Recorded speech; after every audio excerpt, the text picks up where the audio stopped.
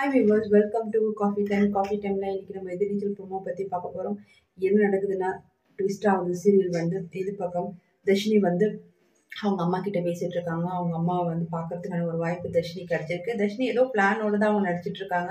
குணசேகருக்கு பெருசாக ஒரு ஆப்பு வைக்க போகிறாங்கன்னு நினைக்கிறேன். அப்படிலாம் யாரும் நினைக்கிறீங்களோ அவங்கள நம்ம சேனலுக்கு மறக்காமல் சப்ஸ்கிரைப் பண்ணுங்கள் இந்த வீடியோக்கு ஒரு லைக் பண்ணுங்கள் கமெண்ட்ஸும் பண்ணுங்கள் இன்னொரு இன்னொரு பக்கம் என்ன ஆகுதுன்னு பார்த்தீங்கன்னா கதிர் வந்து ஜனனி கிடச்சிட்டாங்கன்ற ஒரு உண்மையை சக்திக்கு சொல்ல மறுக்கிறாரு.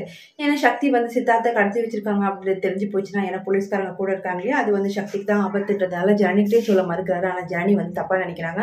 இது போயிட்டு இருக்கும்போது இந்த பக்கம் கரிகாலன் வந்து சக்தி கிட்ட சித்தார்த்து இருக்கிறத பார்த்துட்டு வீடியோ எடுத்து வச்சுக்கிட்டு அவங்க ஃபேமிலிக்கு ஃபோன் பண்ணி மிரட்டி இதான் சாப்பிட சொல்லிட்டு பணம் வாங்கிட்டு இருக்காரு.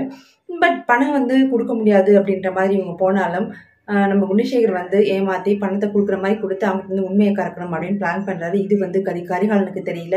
சக்தியும் கரிகாலன் வந்து இப்போ மோத மோத போகிறாங்க ஏன்னா கரிகாலன் வந்து சக்தி கிட்ட இருக்க சித்தார்த்தை காப்பாத்தினாதான் அவர் குணசேகரன் டீம் கிருஷ்ணசாமி ராமசாமி கிட்டையும் ஒப்படைச்சிட்டு பணத்தை வந்து வாங்க முடியும். அதனால சித்தார்த்தை கடத்தத்துக்கு கரிகாலன் வந்து முயற்சி பண்ணாரு. பட் சக்தி வந்து அதை தடுக்கிறாரு. இவங்க ரெண்டு பேருக்குள்ள பெரிய சண்டையே வெடிக்க போகுது. வெயிட் பண்ணி தான் பார்க்கணும்.